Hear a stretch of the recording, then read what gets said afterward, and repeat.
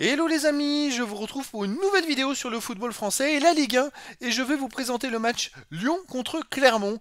C'est un match qui a lieu ce dimanche 22 octobre 2023 à 20h45 pour le compte de la 9 journée du championnat de France de football de Ligue 1 2023-2024. Alors Lyon c'est le 17ème et avant-dernier qui reçoit Clermont le 18ème, donc un match de bas de tableau. Donc les amis, je vais revenir sur le classement, les statistiques de ces deux équipes en Ligue 1. On verra ensuite le classement des meilleurs buteurs et meilleurs passeurs de Ligue 1 avec les meilleurs buteurs et passeurs pour ces deux équipes. On enchaînera avec les résultats depuis le début de la saison, toutes compétitions confondues et les stades pour ces deux équipes. Et on terminera par les compos d'équipes et tactiques éventuelles, ce qui nous permettra d'avoir une idée, une tendance à ce match. Pour ceux qui souhaitent voir ce match à la télé, sachez que vous pouvez le voir sur Prime Vidéo. Donc Lyon, est 17ème de Ligue 1 avant-dernier, avec 3 points en 8 matchs, aucune victoire, 3 nuls, 5 défaites, 6 buts marqués, 16 buts encaissés, moins de 10 de différence de but, un début de saison catastrophique pour Lyon. Clermont est 18ème et dernier avec 2 points, mais en 7 matchs. Ils ont un match de moins euh, que Lyon. Pareil, aucune victoire, 2 nuls, 5 défaites, 5 buts marqués, 12 encaissés, moins 7 de différence de but. Les deux équipes, ce sont les deux seules équipes de Liga à ne pas encore avoir gagné cette saison et elles se rencontrent. Verdict. Alors au classement des buteurs, on n'a pas de buteur des deux équipes dans les 5 meilleurs, mais par contre pour les passeurs, on a quand même euh, euh, Nicholson pour Clermont qui a 3 passes décisives, qui est deuxième meilleur passeur de Ligue 1. Et sinon, euh, pour les buteurs, on a la casette pour Lyon qui a 3 buts. Alors, il a fait un doublé au dernier match contre Lorient où ils, ont marqué 3 buts, Lyon, et il a enfin fait un doublé.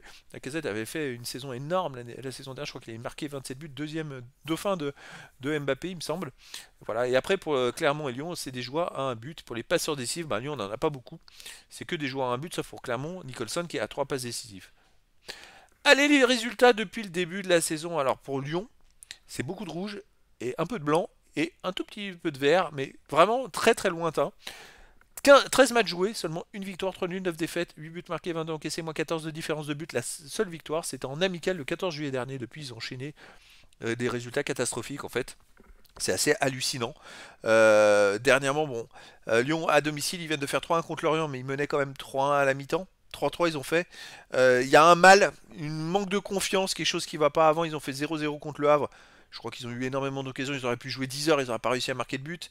Euh, ils ont perdu 4-1 contre le PSG et 4-1 contre Montpellier. Alors, on va oublier euh, les deux défaites 4-1 et se concentrer plus sur les deux autres matchs. Après, Lyon a progressé, a réussi à tenir le nul contre le Havre. Et le dernier match à domicile, ils ont fait 3-3 en menant 3-1 contre Lorient. Ils étaient menés 1-0 au début du match. Ils ont renversé la, la vapeur en première mi-temps en marquant 3 buts. Donc, bon, voilà, un petit plus pour Lyon quand même là-dessus. Clermont, de son côté, c'est 12 matchs joués cette saison, 3 victoires, 3 nuls, 6 défaites, 9 buts marqués, 15 encaissés, moins 6 de goal average. En championnat, euh, bah, les 3 victoires, c'était des matchs amicaux, hein, tout simplement. En championnat, c'est une catastrophe. Euh, bah, tout comme Lyon, hein, c'est pas mieux. À l'extérieur, Clermont reste sur une défaite au Havre 2-1. Un nul à Toulouse 2-2. Une défaite à Reims 2-0. C'est vrai qu'ils n'ont pas joué beaucoup à l'extérieur, ils n'ont joué que 3 fois. C'est un nul et deux défaites. Mais voilà, alors il n'y a pas des grosses défaites, ils n'ont jamais perdu par 3 buts d'écart. Et même contre Monaco, ils ont perdu 4-2. C'était la première journée, mais en même temps, Monaco a mis euh, des pilules un peu à tout le monde cette, année. Enfin, plusieurs fois, ils ont mis des pilules. Euh, donc voilà, euh, c'est difficile de se faire une idée. Il y a eu une trêve là, de 15 jours. Difficile de savoir laquelle des deux équipes va revenir avec le mort aux le plus en forme. Les deux, je pense, vont arriver avec le mort aux. Mais la plus en forme, difficile de savoir.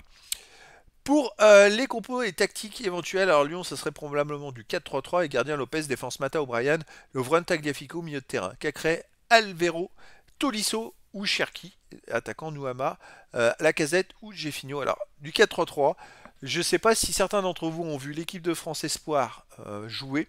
L'équipe de France Espoir jouait en, en 4-2, 4-3, pardon, 1-2 avec un mi-offensif derrière deux attaquants. Euh, et euh, j'ai trouvé cette tactique super adaptée, super bien.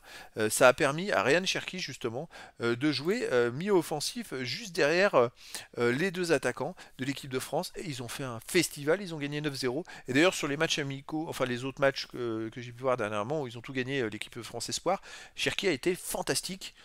Et là, avec Lyon, euh, on se contente à un côté. Moi, franchement, je pense pas qu'il faille le mettre sur un côté. Pour moi, c'est un mi-offensif. Il doit jouer dans l'axe et euh, il doit éclairer le jeu.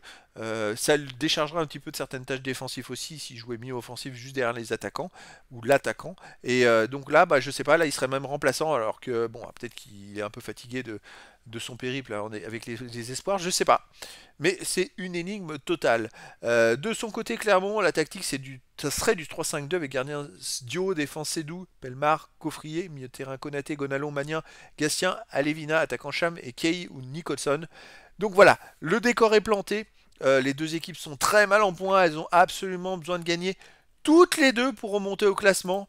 Euh, Lyon, c'est hallucinant, ils n'ont jamais été à cette place-là, ils n'ont jamais enchaîné autant de, mauvais résultats depuis plus de 30 ans. Euh, donc bah écoutez les amis, verdict ce dimanche, je vous donne rendez-vous ce dimanche 22 octobre 2023 à 20h45 pour le match de la 9e journée du championnat de France de football de Ligue 1 2023-2024. Lyon, le 17e et avant-dernier du classement, reçoit Clermont, le 18e et dernier. Voilà les amis, je vous dis à très bientôt pour une nouvelle vidéo.